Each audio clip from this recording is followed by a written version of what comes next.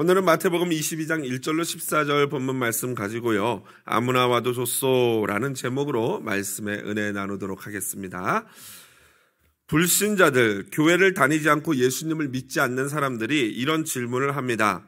하나님은 왜 사람을 만들어 놓고는 누구는 구원하고 누구는 구원하지 않느냐며 불공평하지 않느냐, unfair하지 않느냐라고 따집니다. 이 질문에 대한 답변이 저는 오늘 비유라고 생각을 합니다. 하나님은 우리의 스토커가 아닙니다. 또한 우리를 당신이 원하는 대로 억지로 하게 하는 폭군도 아닙니다. 다만 하나님은 우리 인간에게 자유 의지를 주시고 스스로 하나님을 선택하고 스스로 하나님을 사랑하고 스스로 하나님과 깊은 교제 나누기를 원하십니다. 그래서 하나님은 선악과를 주신 것입니다. 스스로 먹지 아니하므로 눈앞에 보이는 선악과가 있어도 하나님의 명령을 듣고 그것에 순종해서 스스로 그 선악과를 먹지 않으므로 하나님과의 관계를 거룩하게 유지하는 것. 이것이 바로 하나님이 원하시는 우리 인생과의 관계입니다. 아시다시피 우리 인간은 하나님과 같이 되려는 탐욕으로 선악과를 따먹게 되죠. 이제 하나님은 우리에게 플랜 B를 진행하십니다. 그런데 이번 역시도 마찬가지입니다. 억지로가 아닌 스스로의 결정에 의해서 하도록 요구하십니다. 그 스스로의 결정이 오늘 비유에서 따지자면은 바로 혼인잔치의 초대에 응하는 것입니다. 주인이 어떤 임금이 혼인잔치에 초대했을 때 그 초청을 받고 그것에 응답하여 그 자리에 가는 것, 이것이 바로 오늘 어, 스스로 결정하는 것이라고 할 수 있습니다. 그리고 그 잔치집에서 준비한 예복을 입는 것까지가 바로 스스로 그 왕과의 관계를 맺는 것이죠. 잔치는 임금이 다 준비하고 다 버려놓고 음식도 준비하고 모든 것들을 다 꾸몄습니다. 그저 잔치에 참여하는 것만 남았습니다. 그리고 그것을 우리 인간들의 자유에 맡기신 것입니다. 예수님은 지난주 본문인 21장에 계속해서 비유를 이어가는데요.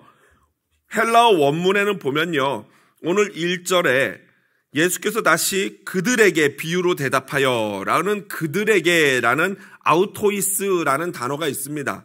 그러니까 그들이라는 것은요. 바로 21장에서 예수님의 비유하심을 알아듣고 46절에 보니까 예수님을 잡고자 하나 무리를 무서워하니 이는 그들이 예수를 선지자로 알미라 할 때 예수님을 잡고자 잡아서 죽이고자 했던 선지자 아니 아, 죄송합니다 서기관 대제사장 바로 이런 사람들을 가리키는 겁니다. 그러니까 오늘 비유는 1차적으로 첫 번째는 바로 그들 대제사장 서기관 바리새인들을 향한 것이고요. 그 다음에 그것이 점점 확장되어서 저와 여러분에게까지 해당되는 것입니다. 우리 역시 이 비유를 들으면서 우리가 오늘 결단해야 될 것은 우리가 혹시라도 또 다른 그들이 되어서는 안 된다라는 것입니다. 우리 역시도 서기관이나 대제사장처럼 그러한 하나님의 초청에 불응하고 하나님의 초대에도 시큰둥한 그런 사람이 되어서는 안 된다라는 것이죠. 앞선 21장의 비유들을 보면요. 새로운, 어, 앞선 21장의 비유에서는 그 하나님의 명령을 순종하지 않은 서기관이나 대제사장들이 받을 벌에 대해서 그들의 운명에 대해서 이 무게중심을 두었다면 오늘 본문에는 이제 새로운 시대의 새로운 하나님의 백성이 누가 될 것인가 그 새로운 하나님의 백성에게 더 무게를 두고 있습니다. 그래서 오늘 본문 전반부 1절부터 7절은요, 구약 시대, 곧 옛 이야기에 대한 비유이고요. 그리고 8절부터 14절은 새 이야기, 곧 예수께서 오신 후 신약 시대부터 저희들이 살고 있는 지금까지에 대한 마지막 날 재림의 날까지에 대한 비유라 할 수 있습니다. 자, 이러한 기본적인 틀을 가지고 우리가 함께 이야기를 살펴보도록 하겠습니다. 하나님은 주권적인 은혜로 이스라엘을 하나님의 백성으로 택하셨습니다. 하나님께서 이스라엘을 택하신 것은요, 하나님의 주권에 따른 것이지만 하나님은 마음대로 하나님이 그렇게 하시길 원해서 하신 것이지만 그렇게 하신 이유에 대해서 하나님이 살짝 언급하신 적이 있습니다. 신명기 7장 6절 7절 여러분 한번 화면 보면서 같이 한번 읽어보도록 하겠습니다. 나는 여호와 내 하나님의 성민이라 내 하나님 여호와께서 지상 만민 중에서 너를 자기 기업의 백성으로 택하셨나니 여호와께서 너희를 기뻐하시고 너희를 택하심은 너희가 다른 민족보다 수요가 많기 때문이 아니니라. 다 같이 너희는 오히려 모든 민족 중에 가장 적으니라. 그렇습니다. 하나님이 이스라엘을 택하신 이유는 이스라엘이 잘나서 강해서 그 숫자가 많아서가 아니라 오히려 작고 약하고 숫자가 적기 때문에 그래서 이스라엘을 택했다는 거예요. 하지만 그래서 택함을 받고 축복을 받았는데 문제는 무엇입니까? 하나님이 자기들을 택했다는 것이 너무나도 자부심이 돼서 그 자부심을 넘어서 무엇이 됩니까? 그렇죠. 교만이 됐어요. 하나님이 택해 주신 거 너무 감사하고 좋은데 그래서 막 자랑스러운데 프라이드가 생기는데 그런데 문제는 그걸 조금 더 넘어가니까 교만함이 됐던 것입니다. 그래서 이스라엘은 서서히 멸망의 길을 걷게 된 것이죠. 주님은 바로 이러한 과정을 오늘 결혼잔치, 혼인잔치의 비유로 이야기를 통해서 말씀해 주시고 계십니다. 예수님은 천국, 1절에 보니까 천국은 마치 자기 아들을 위하여 혼인잔치를 베푼 어떤 임금과 같다라고 하십니다. 그렇다면 여러분 여기서 벌써 딱 나오지 않습니까? 혼인잔치를 베푼 임금은 누구시겠습니까? 하나님 아버지. 그리고 그 혼인잔치에서 결혼하는 자기 아들은 누구겠습니까? 예수님이죠, 예수님. 그러므로 천국은 항상 지금 예수님이 비유하는 것처럼 잔치집에 많이 비유가 되지 않습니까? 천국은 항상 잔치집과 같은 곳입니다. 신랑 대신 예수와 함께 있는 곳은 언제나 잔치요 기쁨이 넘치는 곳인 줄로 믿습니다. 그래서 천국은 눈물도 없고 슬픔도 없는 곳, 잔치집과 같은 곳이고 그러한 상황이 영원토록 계속되는 것이 바로 천국이에요. 간혹가다 그 영원이라는 개념에 대해서 우리가 없기 때문에 아, 영원이면 너무 지겹지 않냐라고 질문하는 분들이 계시는데 그런 걱정은 일단 가보셔서 하시면 될 것 같습니다. 너무 지겨울 것 같아서 안 간다 이러지 마시고 뭐 지옥 가도 그러면 지겨운 거 똑같을 거니까요. 기왕이면 천국 가서 아, 이게 지겹지 않구나라는 것을 아시면 좋겠습니다. 그렇습니다. 그러므로 천국은 천국이 항상 잔치집이고 기쁘고 좋은 곳인데 그 우리가 나중에 가야 될 그 천국의 모형이 이 땅에서 어디입니까? 바로 교회요. 또 적게는 여러분들의 가정이라고 할 수 있습니다. 그러니까 교회와 가정에는 무엇이 넘쳐야 됩니까? 기쁨, 사랑이 넘쳐야 되는 거예요. 할렐루야. 여러분들 가정 그러실 줄로 믿습니다. 그죠? 아멘이죠? 여러분, 날마다 우리 가정은 잔치집 같은 분위기여야 돼요. 가족이 교회를 다니고 예수를 믿는다고 하면서도 만일 기쁜 분위기가 아니고 맨날 초상집 분위기고 맨날 싸우고 이러면요. 분명히 거기에는 무엇인가 문제가 있는 것입니다. 여러분, 잔치집이 행복하고 기쁘기 위해서는 필수적인 것이 있어야 돼요. 누가 있어야 됩니까? 결혼식 잔치가 행복하려면 누가 있어야 돼요? 신랑이, 할렐루야. 권사님, 신랑이 있어야 됩니다. 신랑이 없는 잔치집은 곧 초상집이 됩니다. 옛날 그런 뭐 영화 있잖아요. 막 그냥 신랑과 신부가 막 도망가는 그런 영화 있잖아요. 그럼 막 그 나머지 사람들은 완전히 그냥 이 멘붕이 와가지고 이러잖아요. 진짜 잔치집이 결혼 어, 잔치집이 즐거울려면은 이 아름다운 신부와 잘생긴 신랑이 거기서 같이 춤을 추면서 함께 같이 먹고 샴페인 들고 건배를 할 때 그때 그 잔치집이 기쁜 거예요. 그러므로 여러분 우리 가정이 잔치집 같고 우리 교회가 잔치집 같으려면은 주인공이신 예수 그리스도께서 우리 교회와 우리 가정의 중심에 있는지 점검해 보셔야 할 줄로 믿습니다. 만일 우리 가정에 기쁨이 없다. 그럴 때는 분명히 이거예요. 우리 가정의 중심이 예수가 아닌 거예요. 우리 가정의 중심이 내 자녀이거나 돈이거나 명예거나 아니면 물질이거나 이런 것들이 내 가정의 중심이기 때문에 우리 가정의 행복과 즐거움이 없는 거예요. 간혹가다 여러분 행복하고 즐겁고 아이들이 잘 자라고 건강하고 가정이 막 오손도손한 그런 가정 보면은 사람들이 그 비결을 궁금해하지 않습니까? 그 비결이 도대체 무엇입니까? 아, 똑같은 것 같은데 도대체 무엇입니까? 라고 묻습니다. 대답은 하나예요. 가정의 행복과 즐거움의 비밀은 오직 예수 그리스도인 줄로 믿습니다. 주인이신 그 잔치집의 주인공이신 예수 그리스도가 있는 가정은 기쁘고 즐거울 수밖에 없는 거예요. 왕은요, 종들을 보내서 청함받은 사람들, 즉, 인바이트 해가지고 초대된 그 사람들이 오기를 예정된 자들을 부르러 갑니다. 아, 시간이 됐는데 아직 도착을 안 했나 봐요. 음식은 다 해놔서 쉬고 가고 있는데, 아, 사람들이 안 오는 거예요. 여러분, 제가 이 미국에 와가지고 가장 이 뭐 문화가 많이 다른 게 있지만 가장 크게 차이를 느낀 문화 중에 하나가 있다면 바로 결혼 문화예요. 장례 문화, 결혼 문화 이런 것들이 꽤 차이가 있더라고요. 여러분 결혼식 피로연이 있는데 잔치가 벌어지는 거는 똑같은데 한국 결혼식은 어떻습니까? 누구나 와도 좋어요. 한국 결혼식은요. 아니 뭐 물론 청첩장 보내고 다 소식 알리지만 오면서 뭐 청첩장 검사하거나 앉을 자리가 예약돼 있거나 그러지 않아요. 그냥 아무나 어떻게 돼서 알, 어떻게 어떻게 걸러걸러 알면 와가지고 막, 막 도떼기 시장처럼 이렇게 합니다. 그리고 심지어 전혀 상관없는 홈리스들, 노숙자도 은근슬쩍 들어와가지고 갈비탕 한 그릇 먹고 가기도 하고요. 심지어 나쁜 사람은 그왜 추급금 내는 거 있지 않습니까? 그것까지도 훔쳐가는 그런 범죄를 저지르더라고요. 그런데 미국 결혼식은 어떻습니까? 오고 싶어도 마음대로 못 와요. 누구만 옵니까? 그렇죠. 딱 초대된 사람만. 그 초대, 초대장이 있는 사람만 들어오면서 초대장을 검사하고 그리고 자기 네임이 붙어 있는 그 자리에 가서 앉아서 식사를 할 수 있는 것입니다.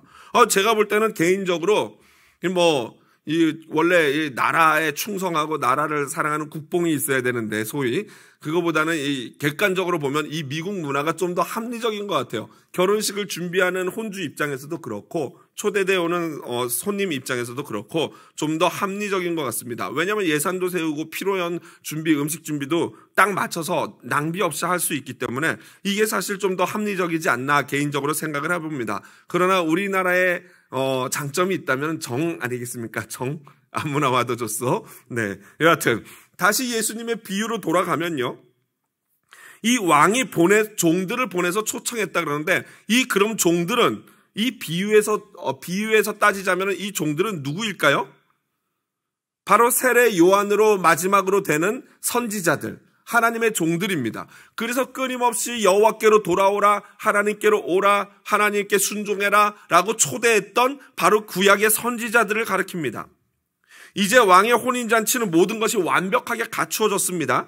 와서 함께 기쁜 마음으로 즐기기만 하면 됩니다. 하지만 초대받은 사람들은 각자의 핑계로 혼인 잔치 참석을 거부합니다. 어떤 사람은 밭으로 일하러 가고 어떤 사람은 비, 자기 비즈니스 하러 간다고 그럽니다. 심지어 어떤 사람들은요, 보냄받은 종들을 잡아 모욕하고 죽이기까지 합니다.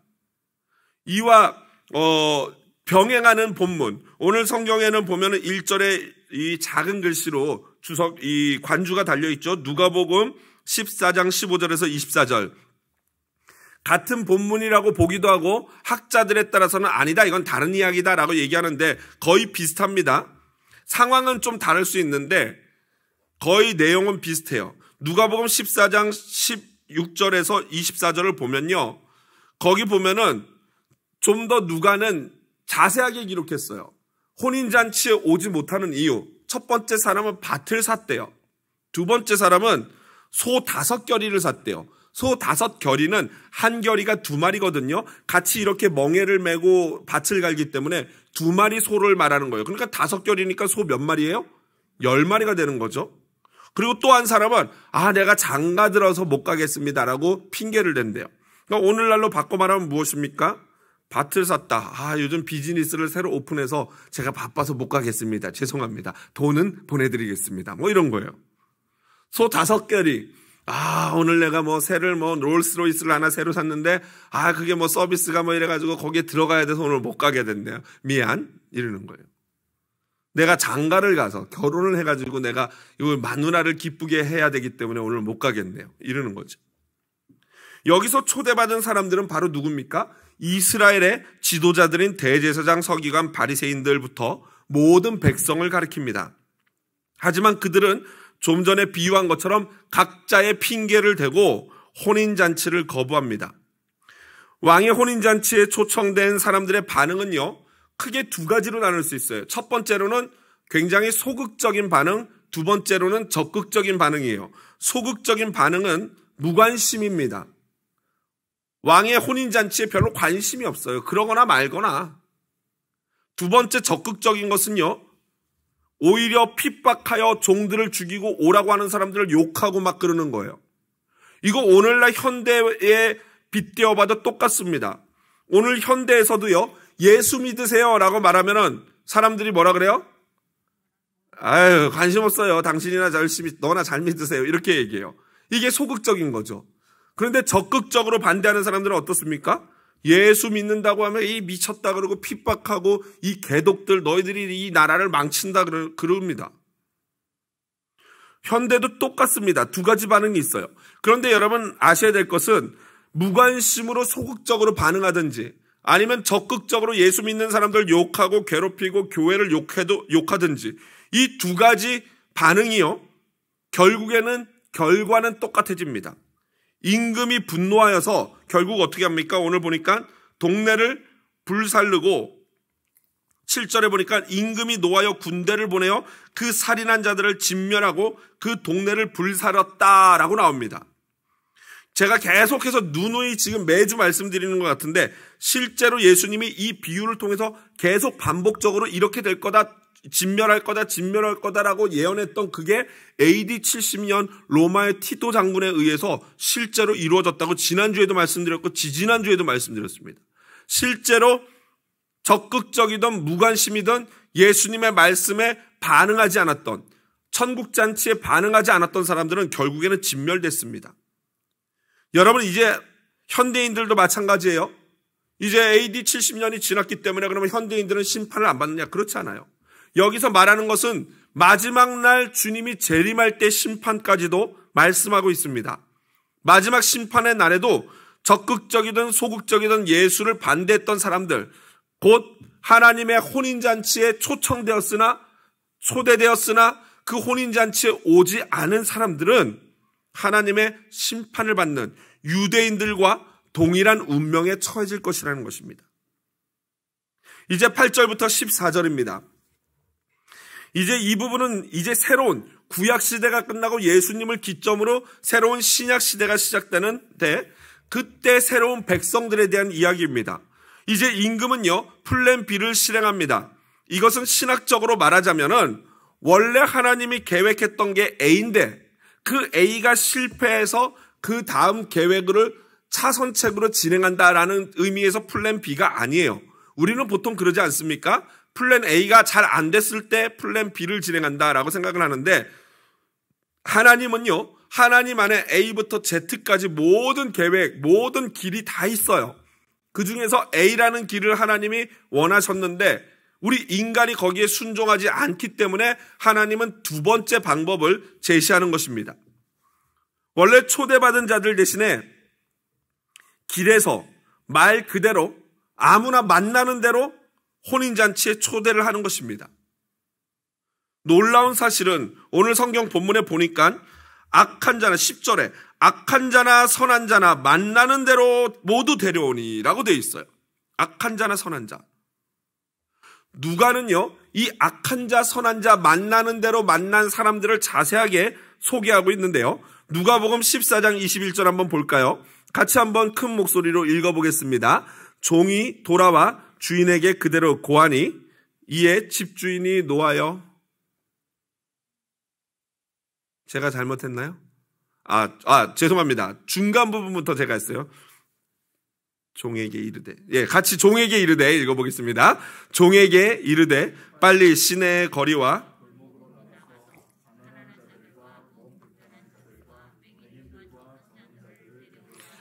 아무나 데려오라고 했는데 그 아무나가 누구예요? 가난한 자, 몸 불편한 자, 맹인, 저는 자. 여러분, 지금 여기 기록되어 있는 사람들은 전통적으로 유대인들이 어떻게 생각하는 사람들입니까? 저주받은 자, 지옥의 뗄감이라고 생각하는 사람들이에요. 바리새인이나 대제사장이나 서기관들은요 이러한 자들을 하나님께 저주받아서 천국과는 상관이 없는 사람 그리고 자기들은 천국에 이미 들어가 있는 사람이라고 생각을 했다고 말씀드렸죠. 그런데 주인이 플랜을 바꿨어요. 그들이 저 지옥의 뗄감이라고 생각하고 천국과는 거리가 멀다고 생각하는 가난한 자, 몸 불편한 자, 맹인, 저는 자들이 바로 그 천국의 혼인잔치에 초대가 됐다는 거예요. 이것은요, 새로운 이제 예수님을 기점으로 예수님을 어, 기점으로 해서 이후에는 하나님의 나라의 새로운 혼인잔치의 법칙이 복음의 무분별, 무차별성, 그리고 또한 보편성, 한마디로 복음이 어떤 민족에게만이 아니라 무차별적으로, 보편적으로 모든 민족에게 뻗어 나갈 것이다 라는 것을 보여주는 것입니다. 1절부터 7절 옛 이야기에서는 천국은 혈통 아브라함의 자손만 초대되었습니다. 하지만 8절부터 14절 새 이야기에서는요 아무나 초대가 되는 겁니다. 천국은요 악인과 선인의 구분이 없어요. 선민이었던 이스라엘의 넘어짐이 이스라엘의 하나님을 거부했던 것이 오히려 축복이 돼서 이제 그것이 이방인, 죄인, 악인까지도 하나님 나라의 백성으로 혼인잔치에 초청된 것입니다. 그래서, 그리고 이러한 현상은 오히려 선민인 이스라엘 사람들에게 도전이 됐어요. 자극을 줬어요. 그래서 그들 역시도 회개하고 다시 하나님 앞으로 돌아올 수 있는 놀라운 역사가 지금 이스라엘에서 실제로 일어나고 있는 것입니다. 바울은 로마서에서 이것을 이렇게 설명하고 있어요. 구속의 역사를 로마서 11장 11절 12절 같이 한번 큰 목소리로 읽어보겠습니다. 그러므로 내가 말하노니 그들이 넘어지기까지 실족하였느냐 그럴 수 없느니라 그들이 넘어짐으로 이방인에게 이르러 이스라엘로 시기 나게 함이니라 그들의 넘어짐이 세상의 풍성함이 되며 그들의 실패가 이방인의 풍성함이 되거든 하물며 그들의 충만함이리요. 그러니까 유대인들이 처음에 선택받았는데 넘어졌어요. 실패했어요. 하나님을 안 믿었어요. 덕분에 복음이 유대인을 넘어서 이방인에까지 흘러갔어요. 이방인들이 예수님을 잘 믿어요. 그거에 도전받고 유대인들이 시기하고 질투하고 도전받아서 예수님을 아 우리도 믿어야겠다 고 믿게 돼서 나중에는 하나님의 놀라우신 천국 잔치의 풍성한 역사가 일어난다 그 말이에요. 여러분 새로운 하나님의 나라 곧 천국 잔치는요, 유일한 조건이 딱 한 가지 있습니다.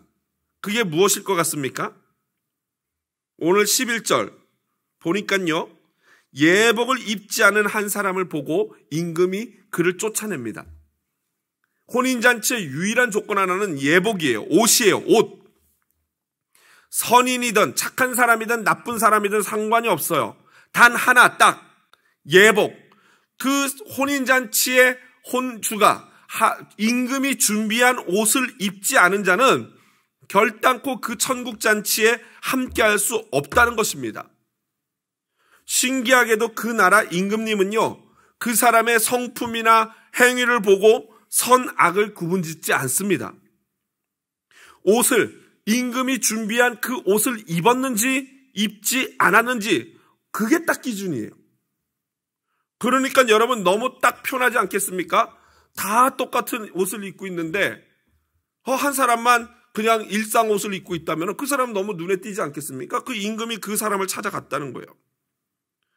여러분 이 보면은 왜 성가대가 똑같은 가운 입지 않습니까? 그런 거가 똑같은 거죠. 성가대가 똑같은 가운 입고 있는데 혼자 이렇게 그냥 양복 입고 있으면 얼마나 눈에 톡 튀겠습니까?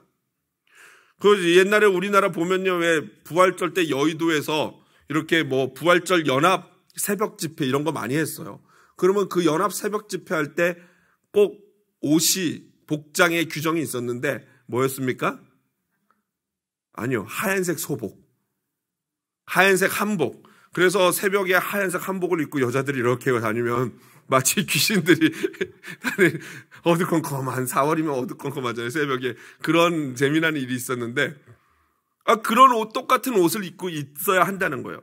여러분 도대체 그 옷이 뭐길래 사람의 생과 사를 가늠하는 기준이 될까요? 여러분 이 옷이 무엇입니까? 할렐루야! 이 옷이 바로 예수 그리스도인 줄로 믿습니다. 예수 그리스도를 입으라는 거예요. 여러분 기독교는 옷의 종교라고 할 수 있습니다. 태초에 에덴에서 선악과를 먹고 죄를 범한 죄를 범하여 수치심, 부끄러움을 알게 된 아담과 하와에게 하나님이 어떤 옷을 지어 입히셨습니까? 가죽옷이죠. 창세기 3장 21절을 보니까 하나님이 양을 한 마리 잡아가지고 뭐 염선지 양인지 모르지만 아마도 양일 것 같아요. 양을 잡아가지고 그 가죽으로 아담의 수치를 아, 하와의 수치를 가려주셨어요. 여러분 이것을 원시복음이라고 합니다. 또 이 가죽옷은 자신의 죽음으로 우리의 죄악의 수치를 가려주실 하나님의 어린 양 예수 그리스도에 대한 심벌이에요. 상징이에요. 또한 신약 성경에서 바울은 뭐라고 말합니까? 로마서 13장 14절에 오직 주 예수 그리스도로 옷 입으라 라고 말해요. 할렐루야. 주 예수 그리스도로 옷 입어야 할 줄로 믿습니다. 새로운 시대에 새롭게 요청되는 하나님 나라의 법칙은요, 은혜의 법칙이고, 그것은 오직 예수 그리스도를 믿는 믿음의 옷을 입는 것으로 누릴 수 있습니다. 옆에 분에게 한번 질문해 보시죠. 예수 그리스도로 옷 입으셨습니까? 대답하세요. 저는 버버리. 이러면 큰일 납니다. 아무리 말이 달려도 구원받을 수 없어요. 예수 그리스도라는 옷을 입지 않으면 구원을 받을 수 없습니다. 여러분, 우리는 눈에 보이는 이 몸뚱아리의 옷매무새를 잘 가꾸는 것 필요합니다. 하지만 영적인 옷매무새를 가꾸는 것의 중요함에 비하면요. 이 겉옷 입는 것은 아무것도 아니에요. 벗고 다녀도 괜찮아요. 사람들은 눈에 보여지는 옷에는 아끼지 않고 투자합니다. 눈에 보여지는 옷은 명품으로 치장합니다. 그리고 그 비싼 명품 샀는데 몸이 불어나서 안 맞으면은 그 비싼 명품에 옷, 몸을 맞추느라고 아주 고군분투합니다. 하지만 정작 중요한 영적인 의복은 미처 준비하지 못한 경우들이 많습니다. 그래서 예수님은요, 소아시아 일곱 교회 중에 라우디게아 교회에 다음과 같이 책망하셨어요. 여러분 스스로 예수님의 음성을 듣는 마음으로 한번 이 말씀 읽어보겠습니다. 제가 읽어드리겠습니다. 내가 말하기를 나는 부자라 부유하여 부족한 것이 없다 하나 내 곤고한 것과 가련한 것과 가난한 것과 눈먼 것과 벌거벗은 것을 알지 못하는도다. 왜 그러냐면 라우디게아 교회는요 부자 교회거든요. 아, 있네요. 부자 교회거든요.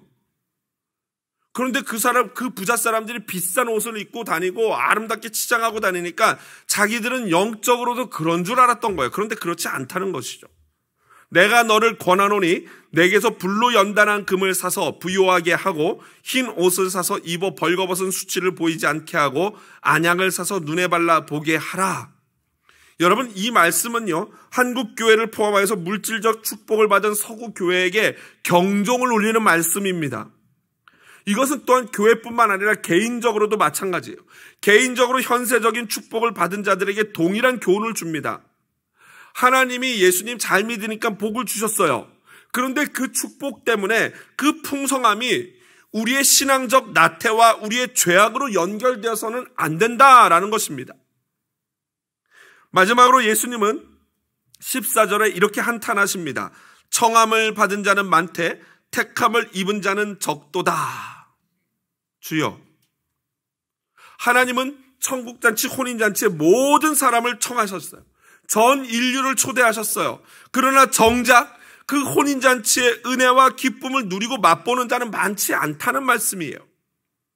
이것을 우리의 신학적으로 표현해 보면요. 제한적 속죄라고 할 수 있습니다. 제한적 속죄. 무슨 말이에요? 사람들은 믿지 않는 하나님을 잘 모르는 사람들은 이렇게 얘기합니다. 마치 자신들이 하나님보다 더 너그러운 척, 모든 사람들을 구원하셔야지 맞는 거 아니냐, 하나님이. 하나님이 모든 인간을 만드셨으니까, 아, 당신이 만드신 자기 자녀와 같은 인간들을 다 구원해야지 그게 사랑의 하나님 아니냐라고 따집니다.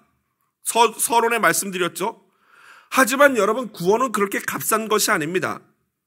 아무나 올 수 있도록 주님이 그러한 조치를 해 놓으셨지만 아무나 올 수 있지만 아무나 천, 이 천국 잔치에 올 수 있고 천국 잔치의 모형인 교회에 들어올 수 있지만 누구나 구원을 얻는 것은 아니에요.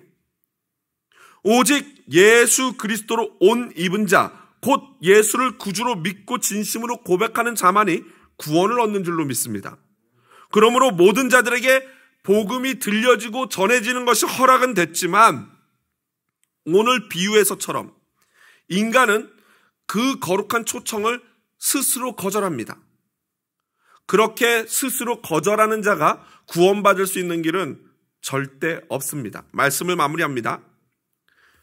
여러분, 우리는요, 이 연속되는 계속된 비유 가운데 우리는 이제는 나중 온 자가 아니라 어느새 벌써 먼저 온 자의 위치에 오게 됐습니다.